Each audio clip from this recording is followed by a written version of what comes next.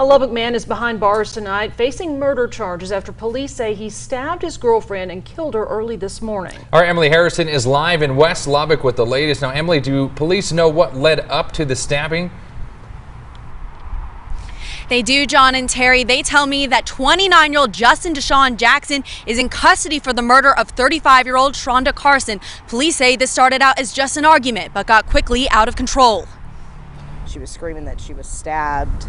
She didn't know what was going on. She couldn't handle it. She was scared. Police found Carson on the kitchen floor laying in a pool of blood, scared that she was going to die. Her cousin Annette Brown says she still can't understand why this happened. He took a mother from her kids and she took he took my family member over something that could have been somebody could have walked away from. It started around midnight when a call was made about a domestic disturbance. The arrest warrant says a witness heard Jackson threaten Carson, saying if he couldn't have her, no one could. Experts say threats like this are common in abusive relationships. Despite what they might be told and blamed for, it's not their fault.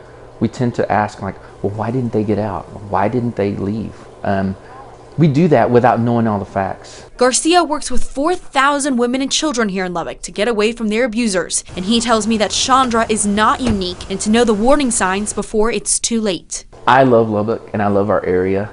And um, this isn't just not unique to Lubbock. This is a this is a, a worldwide epidemic, really. Ask yourself some questions like, am I afraid of this person?